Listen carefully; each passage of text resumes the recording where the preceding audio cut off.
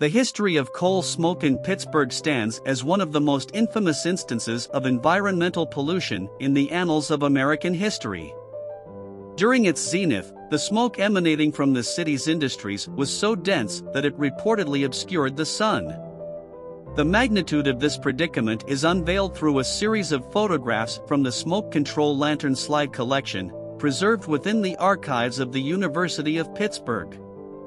Persisting for several decades, the smoke had a profound impact on the well being and quality of life for Pittsburgh's inhabitants, as well as the surrounding environment. The predicament had its genesis in the late 19th century when Pittsburgh ascended as one of the globe's premier industrial hubs. The city's steel mills and factories consumed vast quantities of coal to fuel their operations, resulting in copious volumes of smoke and other harmful pollutants. By the year 1816, when Pittsburgh was officially incorporated as a city, it had already gained notoriety for perpetually cloaking itself in a dense haze of coal dust.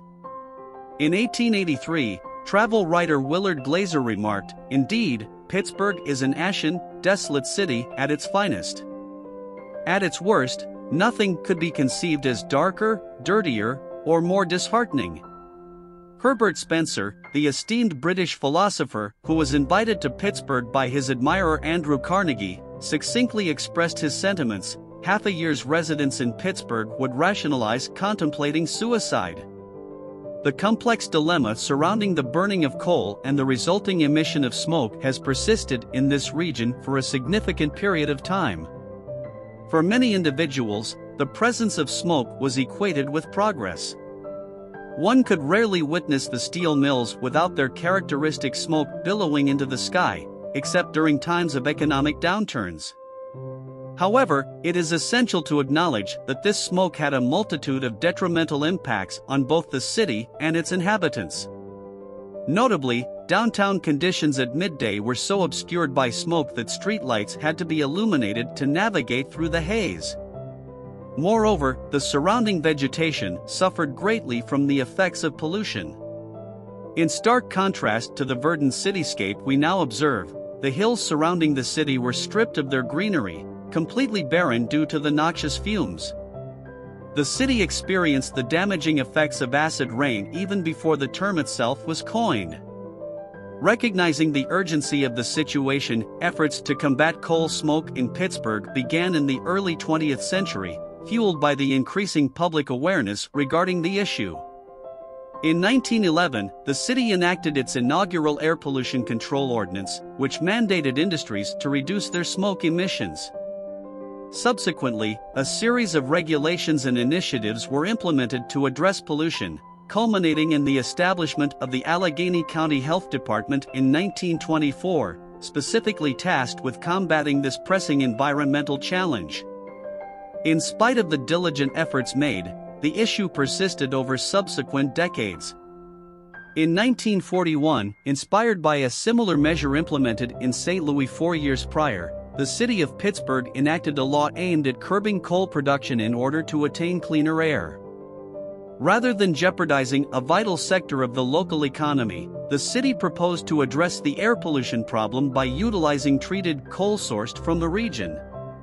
However, the complete implementation of this new policy was delayed until after the conclusion of World War II. Subsequently, natural gas was introduced into the city, triggering a swift transition. Between 1945 and 1950, over 50% of households in Pittsburgh made the switch from coal to natural gas. Simultaneously, Another significant technological advancement took place during this era the replacement of coal burning locomotives with diesel electric engines. In 1950, there were approximately 35,000 coal burning locomotives in the United States, but by 1954, their number had plummeted to 350.